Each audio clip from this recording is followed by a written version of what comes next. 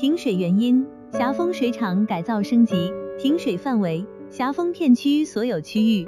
停水时间：十一月二十五日五点至十八点。广大自来水用户因霞峰水厂停电改造升级，受此影响，霞峰片区所有区域在十一月二十五日五点至十八点期间停止供水，请广大用户务必做好储水准备，给您带来不便，敬请谅解。非常感谢广大市民对自来水事业的关心与支持，我们将尽最大的努力为广大用户服务。